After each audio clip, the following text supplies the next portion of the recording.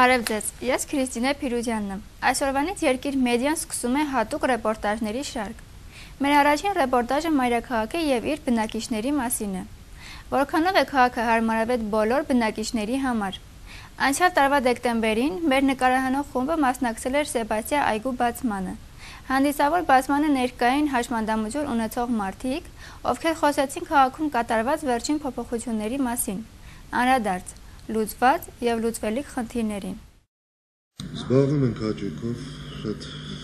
ես ինքս շատ սիրում եմ այս գործը։ Ինչպիսի պահանջ կարող է լինել վիդեոմոնտաժի բնակավարում, դա երևի թե հիմնականում որոշակի հուշավիդեոներ, որոնք կարող են տեղի ունենալ կնունքների, ծնունդների, հարսանիքների ժամանակ Եվ իհարկե այլ բնակավարներում կարող է պետք գալ վիդեոմոնտաժի ծառայությունները։ Ժուրնալիստիկայի մեջ կարող է պետք լինի հերոստա տարբեր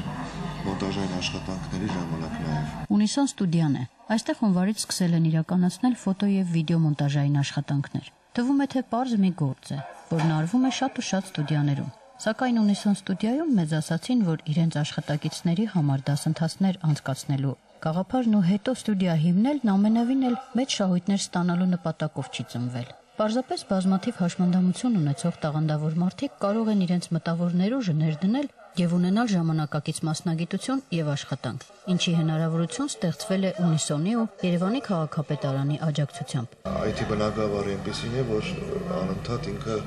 չի կարող գտնվել մի պրիզմայի վրա, նա անընդհատ պետք է աճի եւ դա նաև վերաբերում է եւ սոցիալական կայքերին։ Մեզ ամենից շատ հետաքրքրեց թե ինչպես է հին վնասված լուսանկարը նոր շունչ ստանում։ Ես առաջ կանեմ այստեղ գույնավորել բացել։ Ուզնեի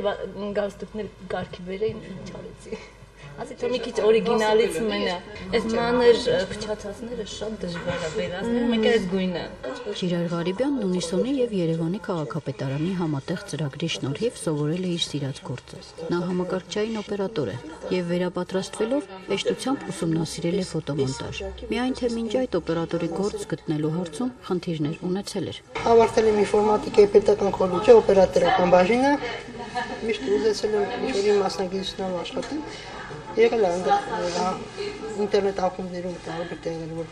գնամ օպերատորական ես ցանկում եի պայմանավորի հա ես այս վիճակով գնում ասնում այնտեղ բայց չէ կներեք մեզի արդեն ընդունել են կամ մեզի աղջիկ էր պետք նոր ստուդիայում ժիրայրն արդեն 1 ամիս է աշխատում է Արիգա Արշակյանն էլ վերապատրաստվել է, քանի որ իր նախկին մասնագիտությունը հնացել էր։ Ունիսոնը առաջարկեց Photoshop-ի ասեց, եթե ուզում ես, դե բնական է այս բավականին արդիական մասնագիտությունն է, մի քիչ գիտեի մոտավորոշակի հպանցիկ։ Սովորեցինք անցակետ դասընթացները բավականին խորացրած տարբերակով։ Ու հիմա հույսով եմ, որ կաշխատենք ու լավ կաշխատենք։ Ունիսոն ստուդիայում գործում է նաև ֆոտոստուդիա։ Պրոֆեսիոնալ լուսանկարչին հաստատ չի խանգարում լսողության հետ կապված իր խնդիրը, հատկապես որ ինքն իր գործը լավ գիտի։ Մնացած խնդիրները տեխնիկական են։ Ստուդիայի աշխատակիցները համոզված են, որ ապագան բարձր տեխնոլոգիաներինն է եւ ձեռք բերելով ժամանակակից մասնագիտություն հնարավոր կլինի նպաստարու կարգավիճակից վերածվել լիարժեք աշխատող քաղաքացու, հարկադու դառնալ։ Ունիսոն հասարակական կազմակերպության նախագահ Արմեն Ալավերդյանը վստահեցնում է, որ վերջին տարիներին կարծրատիպեր կոտրելու հարցում առաջխաղացում կա։ Բավականին շատ ձեռբերումներ կա, արդեն հարյուրավոր մարդիկ գործի են անցել, ստեղծվել են 18 սոցիալական ձեռնարկություններ Ունիսոնն էլ որոշեց հենց այդպիսի բարձր տեխնոլոգիաների ոլորտում, IT ոլորտում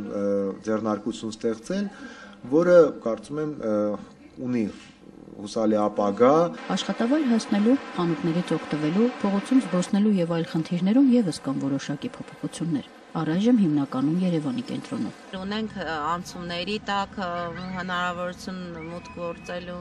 ունենք նաև ինչու՞ չէ նաև քաղաքում եթե ես դուրս եմ գալի, ես անձամբ փորձել եմ, ես գնացել եմ։ Ես գնացել եմ, այցելել եմ որտեղ որ ինձ պետք է, այսինքն A կետից B կետ հասնելը իմ համար խնդիր չի եղել։ Դրան ըստ հաշմանդամություն ունեցողների խնդիրներով զբաղվող կազմակերպությունների ներկայացուցիչների հնարավոր էր հասնել համագործակցության շնորհիվ։ Եթե ստուդիայի հարցում քաղաքապետարանի աջակցությունը տարածքը անհատույց տրամադրելու ձևով է, ապա այլ խնդիրները լուծելիս Երևանի քաղաքապետարանը կիրառել է մասնակցային սկզբունքը։ Անցյալ երկու տարիների ընթացքում տեքահարթակներ կառուցելու հարցում եղել են ոչ միայն խորհրդակցություններ։ Ողջունել է նաև որ քաղաքապետարանը դա այդ մասնակցային է այդ գործընթացը կազմակերպում, այսինքն երբ որ նոր թեկարտակների կառուցման վայրերը ընտրվում են, անպայման մեր կարծիքը հաշվի է առնեցվում, իսկ երբ որ դրա արդեն սկսում են կառուցվել, մենք անպայման մշտադիտարկման ենք մասնակցում եւ մեր նկատած թե բոլոր թերությունները անպայման ուղղվում են։ Նման մի փորձի ականատես եղանք 2014 թվականի դեկտեմբերի վերջին, երբ Երևանի Մալաթիա Սեբաստիա համայնքում Սեբաստիայի այգին բացելիս հաշմանդամություն ունեցող հյուրերը հրավիրված էին ոչ միայն որպես հանդիսավոր բացման մասնակիցներ, այլև այգի տանող նոր թեկահարթակի հարմարավետությունը ստուգելու նպատակով։ Մեր նկարանող խմբի անդամ, մեր գործընկերուհի Քրիստինան եւս մեզ հետ այգի էր եկել փորձարկելու նպատակով։ Այս այգում ես այսօր կարող եմ իրականացնել հանգիստ լրագրողական աշխատանք, քանի որ այն հարմարեցված է նաև ինձ համար։ Իհարկե Քրիստինան սեփական փորձարկումից հետո ողջել էր նաև ներկաների կարծիքը։ Այսօրվա դերությամբ մենք ունենք այսպեսի հրաշալի, հա,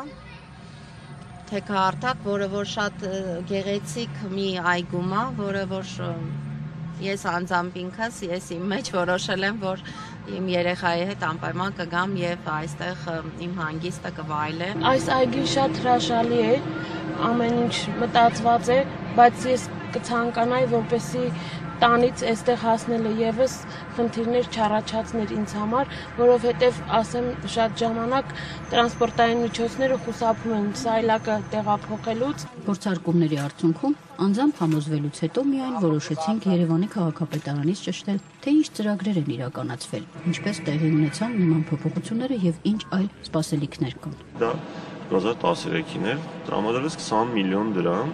որի արդյունքում կառուցվեց 81 թեկահարթակ։ 13 թվականից սկսեց մի հետաքրքիր տենդենց, որ մենք մեր կապալառների հետ պայմանավորեցինք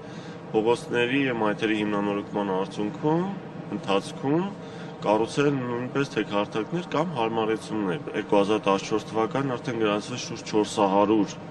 հարմարեցում կամ թեկահարթակներ եւ դա տեսանելի է շատ, որը շատ կարեւոր է։ Սամվել Մերթաջյանը վստահեցնում է, որ բյուջեի այդ մասը իրականացնելիս իրենք համագործակցել են հասարակական կազմակերպությունների հետ, որ เป զի ամեն ինչ հաշվարկվի ըստ հենաշարժողական խնդիրներ ունեցողների իրական կարիքների։ Հակառակ դեպքում սխալների ուղումը շատ ավելի թանկ կնստեր։ Ինչպես կարելի է սխալների ուղում անվանել Չինաստանից բերված ավտոբուսների չհարմարեցված լինելը։ Հարմարեցված ավտոբուսները չափսերով մի փոքր ավելի մեծ են, Դրանք ոչ թե բարձրանում ես, այլ պարզապես մեկ քայլ անելով մտնում, եւ ավտոբուս կարող է հեշտությամբ մտնել ոչ միայն հենաշարժողական խնդիր ունեցողի սայլակը, այլև մանկասայլակը եւ յուրաքանչյուր ակերով ճամպրու։ Նման ավտոբուսները հարմար են բոլորին, Եվ եթե հաշվի առնենք, որ դրանք ունենում են նաև կանգառների անունները վազող տողով գրելու եւ հայտարարելու հնարավորություն, ապա հարմար են լսողության, տեսողության խնդիրներ ունեցողներին եւ քաղաքի հյուրերին։ Քաղաքապետարանում ընդունում են, որ կան սակայն որոշակի թերություններ,